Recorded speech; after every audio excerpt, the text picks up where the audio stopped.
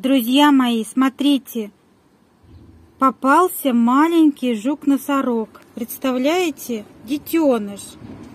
Видите, у него еще нет рожков, рогов.